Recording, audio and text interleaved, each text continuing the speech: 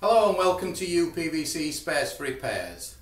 Today we're going to talk to you about our slimline letter plate.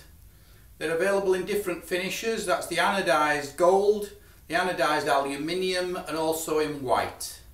The overall size of the slimline letterbox is 315mm wide by 50mm deep and they're designed to go into a door up to a maximum width of 70mm so there's a good range over the size. The hole that's required for the letter plate to go through is 270 millimeters wide by 38 millimeters high. The plate has got a rubber gasket side and an ungasketed side.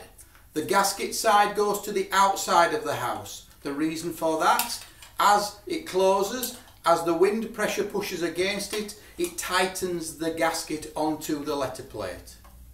Simple to fit and a nice neat finish, but not always able to be exchanged for some other letter plates which are slightly deeper and of different lengths. But you can see the differences on the website. Thank you.